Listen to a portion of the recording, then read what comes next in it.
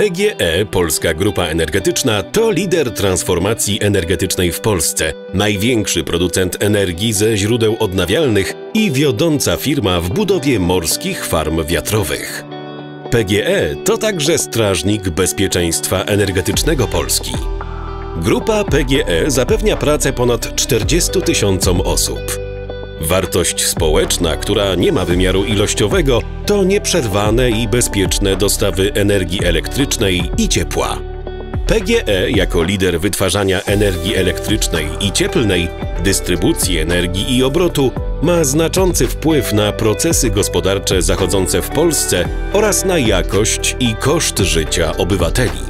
Dlatego grupa PGE nieustannie inwestuje w najefektywniejsze technologie, aby gospodarstwa domowe i firmy miały jak najtańszą energię. Transformujemy polską energetykę, minimalizując jej wpływ na środowisko naturalne.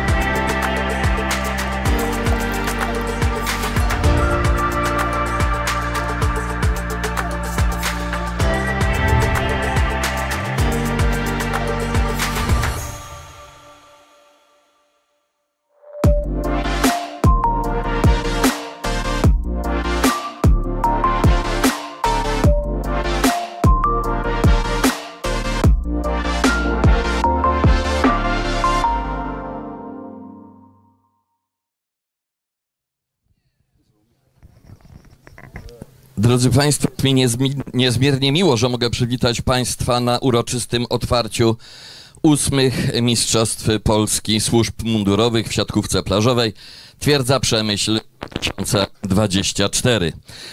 Organizatorami zawodów są Region Przemyski Międzynarodowego Stowarzyszenia Policji IPA, Region Bieszczacki e, Międzynarodowego Stowarzyszenia Policji IPA oraz Niezależny Samorządny Związek Zawodowy Funkcjonariuszy Straży Granicznej przy Bieszczackim Oddziale Straży Granicznej. Szanowni Państwo, bardzo proszę o powstanie tych, którzy jeszcze może siedzą pod namiotami. Za chwilę nastąpi uroczyste wciągnięcie flagi państwowej na maszt oraz odśpiewanie hymnu Rzeczypospolitej Polskiej. Poczet flagowy. Baczność! Do podniesienia flagi państwowej.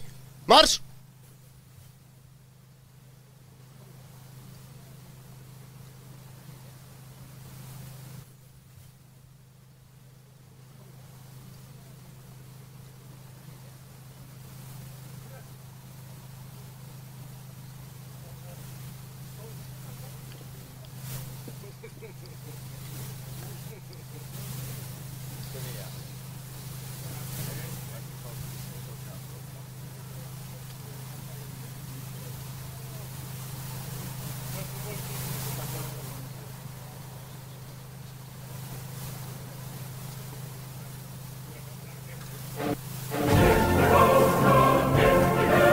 Flagę państwową Rzeczypospolitej Polskiej na maszt podnieść!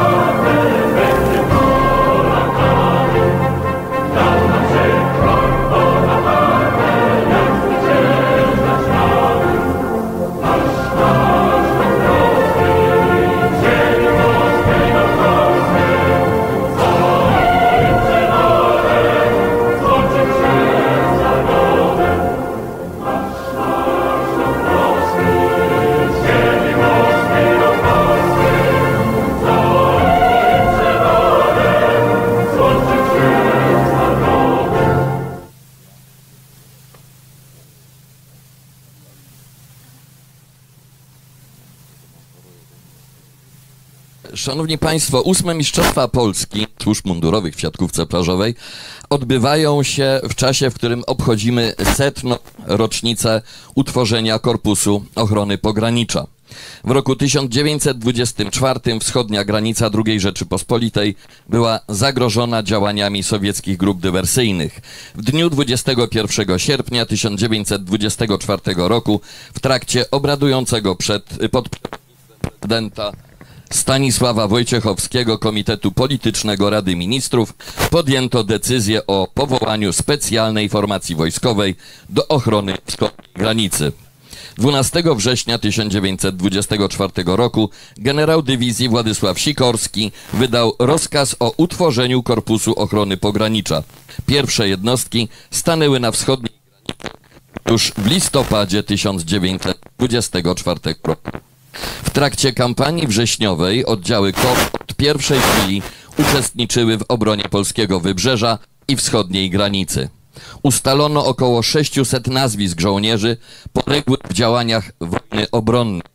Wiemy, że już po jej zakończeniu NKWD zamordowało w Katyniu ponad 500 żołnierzy KOP, a 345 aresztowano. Zaginęli na wschodzie. Szanowni Państwo, proszę o powstanie i uczczenie minutą ciszy żołnierzy KOP poległych w obronie polskich granic oraz w trakcie i po wojnie obronnej 1939 roku.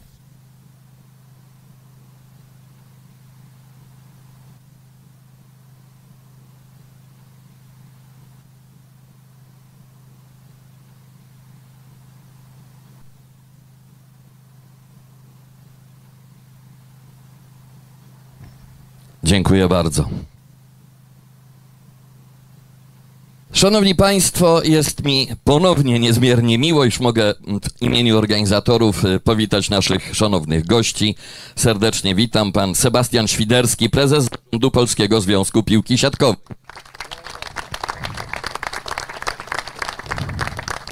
Wiesław Kozioł, wiceprezes Zarządu Polskiej Ligi Siatkówki. Jacek Kasprzyk, członek zarządu Polskiego Związku Piłki Siatkowej. Złota drużyna Huberta Wagnera w osobach Marka Karbarza, Ryszarda Boska, Mirosława Rybaczewskiego, Włodzimierza Stefańskiego, Stanisława Gościniaka. Serdecznie witamy również Aleka Archema, trenera Resowi Rzeszów. Serdecznie witam przedstawicieli administracji państwowej oraz władz samorządowych. Witam pana Ireneusza mm, Laska, podsekretarza stanu w Ministerstwie Sportu i Turystyki, a przy okazji, drodzy państwo, byłego reprezentanta Polski w siatkówce. Serdecznie witam panie ministrze. Witam pana Wojciecha Bakuna, prezydenta miasta Przemyśla. Witam pana Roberta Bala, wiceprzewodniczącego Rady Miejskiej. Serdecznie witam przedstawicieli służb mundurowych.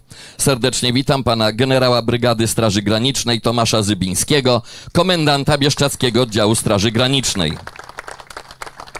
Serdecznie witam pana Dariusza Home, starszego brygadiera Państwowej Straży Pożarnej, zastępcę komendanta wojewódzkiego.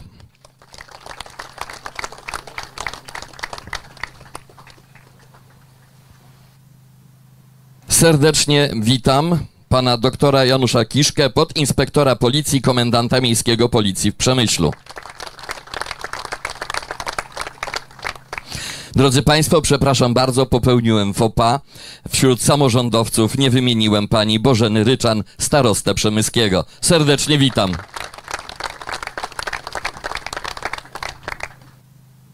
Drodzy Państwo, wracamy do przedstawicieli służb mundurowych. Pan Arkadiusz Skafiriak, podpułkownik służby więziennej, dyrektor zakładu karnego w Przemyślu. Pan Piotr Wójcik, prezydent sekcji polskiej Międzynarodowego Stowarzyszenia Policji. Pan Adam Pieczkiewicz, prezes Podkarpackiej Grupy Wojewódzkiej Międzynarodowego Stowarzyszenia Policji. generał Brygady Straży Granicznej pan Andrzej Popko.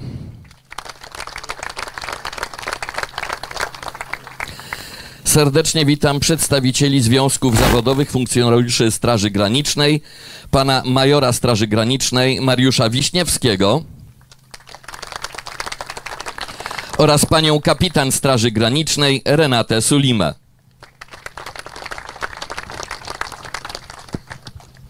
Niezwykle serdecznie witam naszych gości z Rumunii. Pan Joan Bogdan, pułkownik żandarmerii, główny inspektor żandarmerii regionu Bihor w Rumunii. Cristian Nikolescu, przewodniczący IPA Region Bihor 3. Cristian Pobirci, wiceprzewodniczący IPA Region Bihor 3. Serdecznie witam wszystkich niewymienionych z imienia i nazwiska oraz funkcji, gości, sponsorów i darczyńców, bez których Mistrzostwa Polski Służb Mundurowych w siatkówce plażowej nie mogłyby się odbyć. Serdecznie Państwa witam. A teraz proszę o zabranie głosu pana Ireneusza Nalaska. Panie ministrze, bardzo zapraszam do mikrofonu.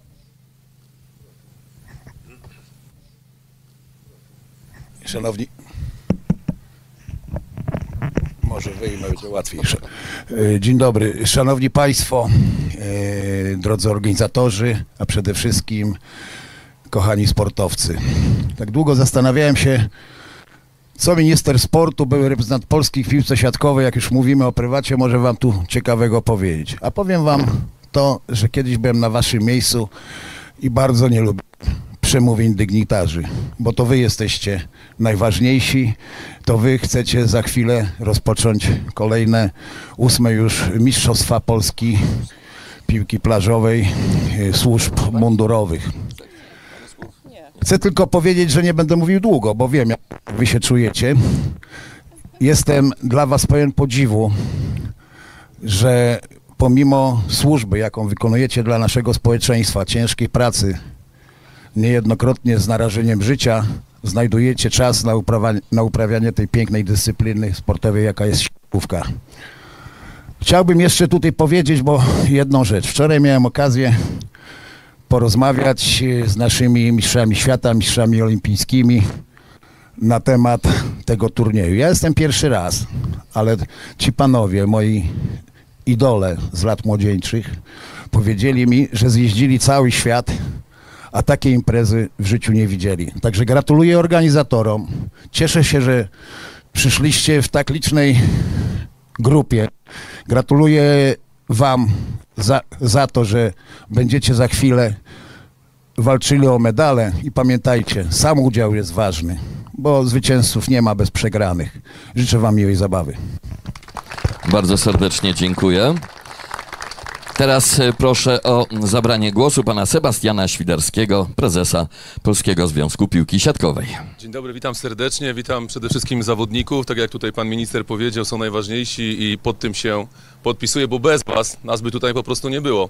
Z tego miejsca chciałbym serdecznie podziękować wam, organizatorom, wszystkim sponsorom i wszystkim ludziom zaangażowanym w imieniu Polskiego Związku Piłki Siatkowej, ale również pozwolę sobie odczytać, ponieważ zostałem zobligowany w czwartek o, do, o przekazanie dla organizatorów tego turnieju w dowód uznania dowódca generalny rodzajów sił zbrojnych, generał broni Marek Sokołowski. Także u góry, tam na samej górze też widzą i obserwują wasze poczynania. Wielkie, wielkie gratulacje. Dziękuję. Bardzo dziękujemy.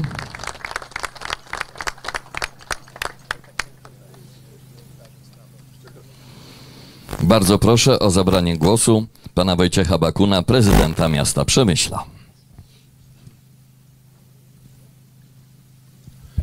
E, Szanowni Państwo, wszyscy zaproszeni goście i, i drodzy zawodnicy, ja też bardzo e, krótko, bo e, to chyba najniższa temperatura, jaką e, dzisiaj doświadczymy, później już będzie tylko cieplej.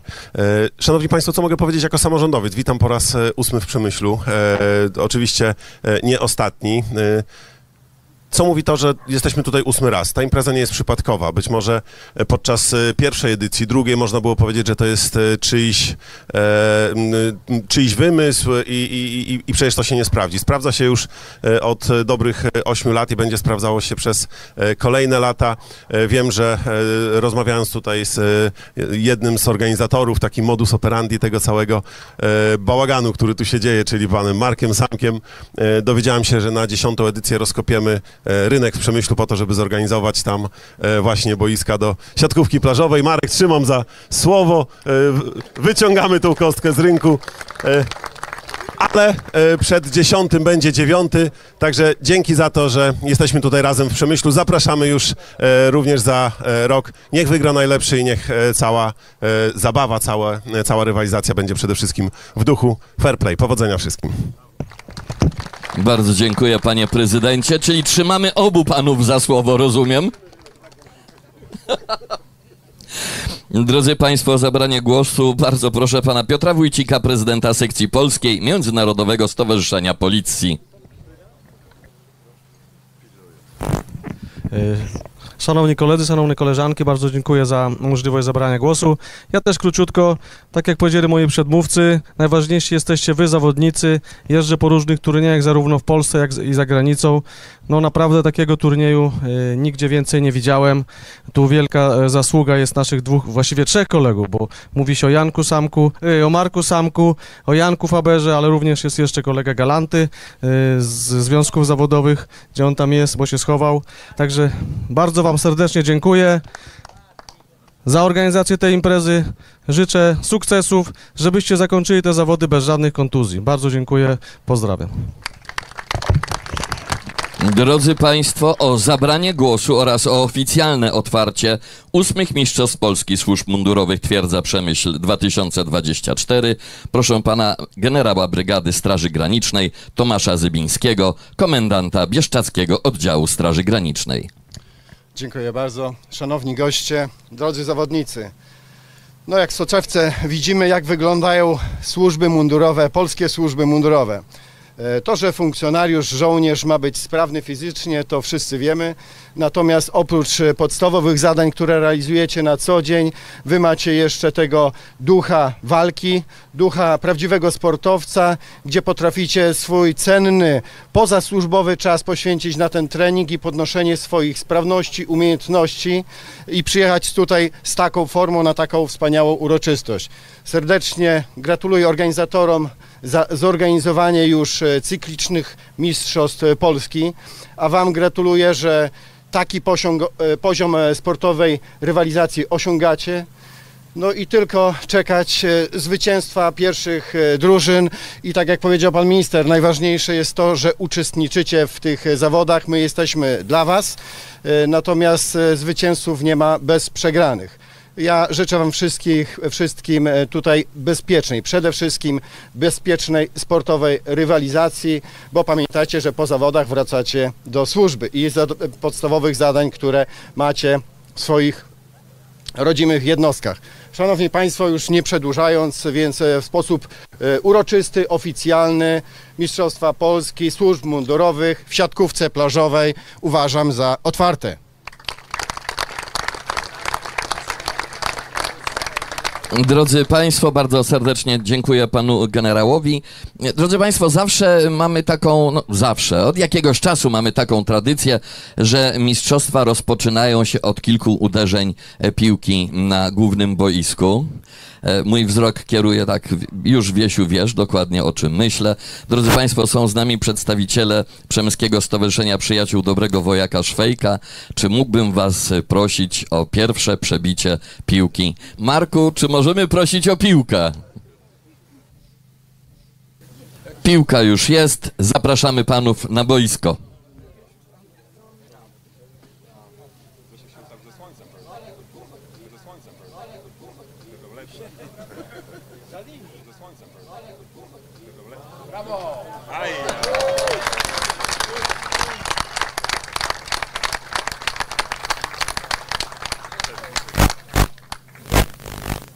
Drodzy Państwo, tym samym Mistrzostwa Polski Służb Mundurowych w siatkówce plażowej, e, ich ósma edycja zostały właśnie otwarte.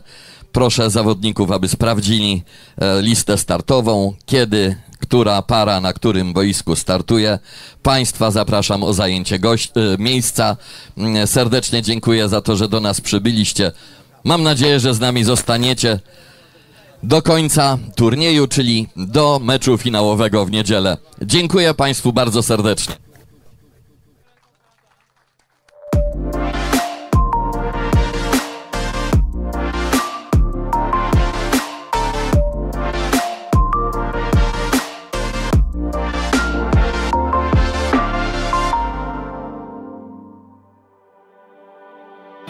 PGE Polska Grupa Energetyczna to lider transformacji energetycznej w Polsce, największy producent energii ze źródeł odnawialnych i wiodąca firma w budowie morskich farm wiatrowych. PGE to także strażnik bezpieczeństwa energetycznego Polski. Grupa PGE zapewnia pracę ponad 40 tysiącom osób. Wartość społeczna, która nie ma wymiaru ilościowego, to nieprzerwane i bezpieczne dostawy energii elektrycznej i ciepła.